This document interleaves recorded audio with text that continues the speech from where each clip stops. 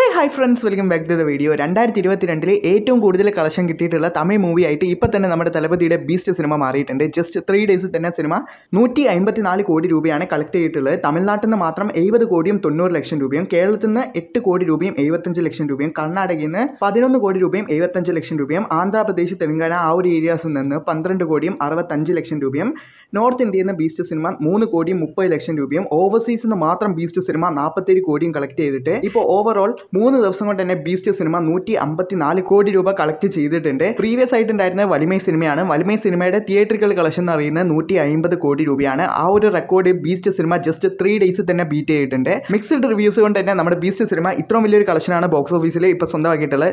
Just positive reviews മാത്രം വന്നിട്ടില്ലെങ്കിൽ Nelson ആ ഒരു സ്ക്രീൻ പ്ലേ മാത്രം ഒന്ന് ശ്രദ്ധിച്ചിട്ടുണ്ടായിരുന്നെങ്കിൽ ബീസ്റ്റ് സിനിമ ഇപ്പോൾ പല റെക്കോർഡും താഴ്ത്തേനെ എന്തായാലും പോയത് പോയി. ഇനി വെയിറ്റ് ചെയ്യുക അടുത്ത സിനിമയ്ക്ക് വേണ്ടിയിട്ട്. So that's a video guys അപ്പോൾ ഇതിനെക്കുറിച്ചിട്ടുള്ള നിങ്ങളുടെ അഭിപ്രായം കമന്റ് ബോക്സ് വഴി ഷെയർ ചെയ്യുക അപ്പോൾ നെക്സ്റ്റ് ഒരു വീഡിയോയിൽ കാണാം. അതുവരെ സി യു ബൈ